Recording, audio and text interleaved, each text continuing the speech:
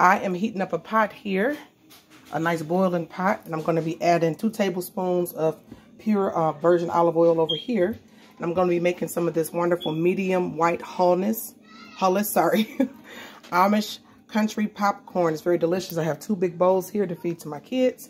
All right, and let's get the pop. Let me add the oil in. All right, so let's add in one tablespoon. All right, it's starting to sizzle. Very beautiful. One more. And then another. Let's give it a nice turn around here. It is nice and hot. All right, I think I might do three tablespoons, y'all. Don't know. Because what's the nonstick pan? It's okay. So let's go ahead and add in some of the beautiful Amish country popcorn here.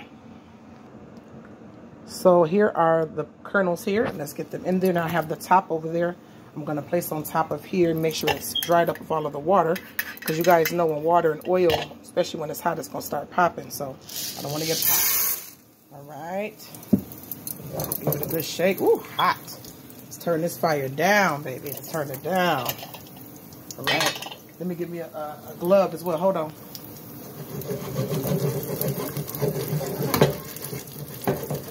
All right, so ooh, it's already starting to pop. Look at that.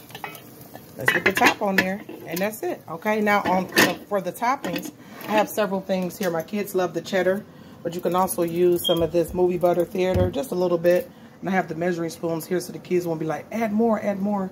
I'm going to probably add a tablespoon for each bowl, shake it up real good. Old school popcorn um, on the stove, okay?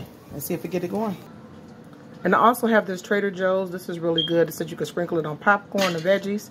It's a ranch flavor. So some may want ranch. Some may want uh, nacho cheddar. I got a little pink Himalayan salt in there. As you can hear, it's starting to pop. Pop, pop, pop, pop, pop it up. All right, so that's just a nice little healthy snack. And you can control the amount of salt and stuff like that and butter and oil that is on your popcorn. I'm popping it in olive oil. You guys have a wonderful day. Much appreciation and gratitude unto you. Peace.